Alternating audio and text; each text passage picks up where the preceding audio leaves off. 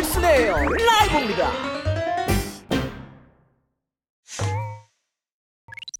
자, 아, 기적의 풋볼리즘 첫 번째 시간입니다. 어, 자꾸 왔다 갔다 해. 자, 어, 첫, 번째, 첫 번째 에, 저희 주제는 손흥민. 자, 자, 네 경기 연속골. 손흥민 무엇이 달라졌나? 이 자꾸 거추장스러워가지고 이거 왜 졸업식 때도 이런 거 잘 안 입었었는데 손흥민 선수가 지금 우리뿐만 아니라 잉글랜드에서 난립니다. BBC에서 손흥민 선수 특집을 또 다뤘습니다. 손흥민 선수가 대단한 일곱 가지 이유. 그 중에 정말 뻔한 거는 구문제를 해결했다가 있더라고요. 그게 뭔 건지 모르겠는데. 그거 말고도 팀 플레이어다. 골 넣는 머신이다. 그리고 또, 와, 그 표현도 좋던데. 아시아의 축구의 이미지를 바꿔놓고 있다. 뭐 그러면서 박성 선수와 비교하는 것도 있었는데, 아, 근데 그, 그, 저희 해버지가 우리 축하 영상 보내줬는데, BBC가 그러더라고요. 손흥민이 더 낫다고. 태세전환 정말 대단합니다. 그리고 아버지에게 축구 DNA를 물려받았다. 가장 인상적이었던 것 중에 하나는 이거였어요. 이렇게 해맑게 웃는데 누가 이 손흥민을 싫어하겠냐.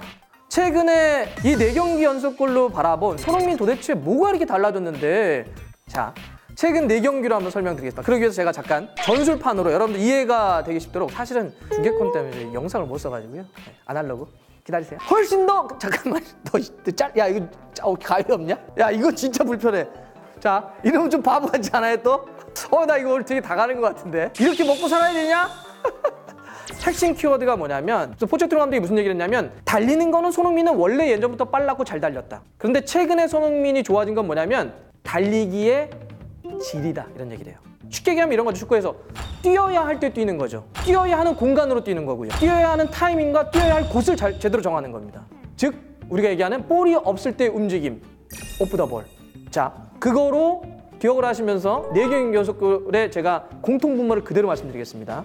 첫 번째 네 경기 연속골의 시작이 와포드전에서의 골이었는데 요렌테가 볼을 터치하려고 할 때 이미 손흥민 선수는 스타트를 끊습니다. 요렌테가 딱 잡으려고 할 때 이미 스타트를 끊어서 사전 움직임을 가져가고 있어요. 그러니까 볼이 좀 흘렀을 때 잡아서 바로 때려버리는 거죠. 두 번째 연속골이 나왔던 뉴캐슬 이 경기는 진짜 기가 막힙니다. 그날 정말 베니테스의 뉴캐슬이 엄청났습니다. 6-4-0? 토트넘을 그렇게 상대했었는데 요렌테를 투입을 합니다. 장신의 요렌테를 세워놨기 때문에 탁 볼을 주죠. 탁 줘요. 여기서 패스가 시작되는데 손흥민 선수가 이미 뛰기 시작해요. 제가 말씀드렸던 스타트 포인트. 스타트를 끊는 시점이 굉장히 빨라졌어요. 알더웨이럴트가 주는 순간 이미 스타트를 끊어서 접근하고 있어요. 왜? second ball을 따기 위해서. 요렌테 맞고 떨어졌을 때 바로 잡아서 오른발 슈팅이 나오는 거죠. 세 번째 연속골 나왔던 것이 레스터 경기인데요. 수비를 하다가 막판에 시소코가 여기서 볼을 커팅을 하고 땅 때려놓으면서 여기서부터 뛰는 거 아닙니까? 손흥민 선수가 시소코가 딱 주려고 할 때 수비수를 등지고 딱 돌기 시작해요.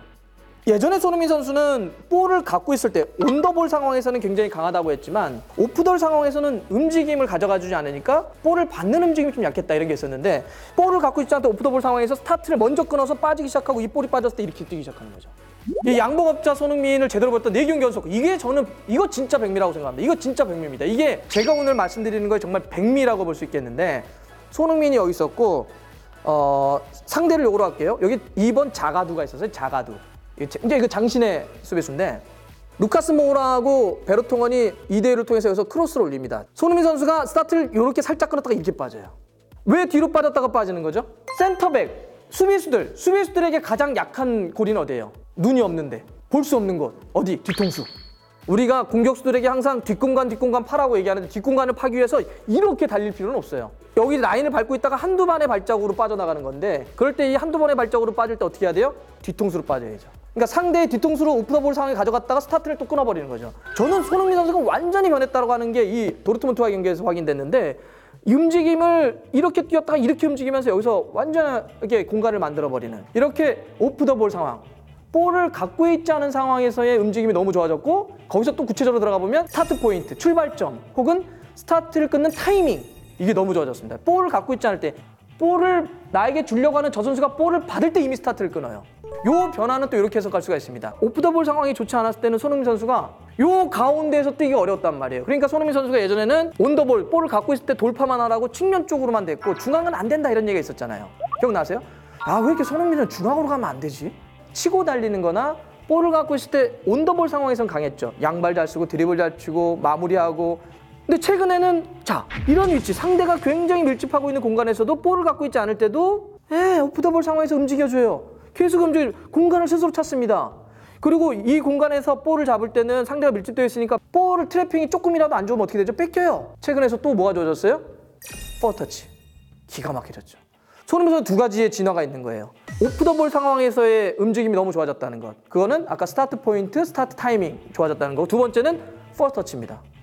터치감이 상당히 좋아졌어요. 좋아지면서 여기서 이, 이 좁은 공간에서 볼을 잡고 움직일 수도 있기 때문에 손흥민 선수가 이제는 측면에서만 뛰는 것이 아니라 중앙에서도 자기의 능력을 보여주는 것이고 중앙으로 왔을 때 그런 스타트 포인트라든지 스타트 타이밍을 가지고 off the ball 상황에서 골을 만들어내는 거죠. 대단하지 않습니까? 제가 이 비밀을 만들, 발견해냈습니다. 자, 네 경기 연속 골의 비밀입니다. 이거는 BBC가 일곱 가지를 분석했지만 BBC는 이거 분석 못합니다. 이러면 안 되나? 군 혜택 받은 게 뭐 그겁니까? 저 BBC 너무 좀 아버지 저 축구인 선수인 거 다 아는 거 아닙니까? 이런 걸 밝혀내야 되지 않겠습니까? 건이 정도로 하겠습니다. 끝났습니다. 자, 어, 기적의 포퓰리즘을 통해서 듣고 싶은 뭐 어떤 팀의 이야기, 전술의 이야기, 선수 움직임에 대한 이야기, 뭐 기타 등등의 이야기 모든 걸 물어보시면 제가 다른 옷을 입고 하겠습니다. 이 옷은 안 입고요. 뭐든지 좋습니다. 뭐든지 자 우리 달티뷰에서 이 기적의 포퓰리즘 이 안에서 뭔가 축구를 조금 더 우리가 축구를 보는 게 좀 다양한 게 있지 않습니까? 그 중에서도 뭐 전술이나 기술이나 뭐 이런 부분을 좀 어, 궁금하시다 그러면 언제든지 예, 저에게 문의해 주시면 어, 열심히 한번 만들어 보겠습니다. 기다리겠습니다. 자 댓글을 남겨주십시오. 댓글로 남겨주시면 저희가 예 일일이 확인을 한번 해보고 예, 마음에 드는 거 그리고 마음에 안, 배성재 이런 거 쓰면 차단 하겠습니다. 네 남겨주세요.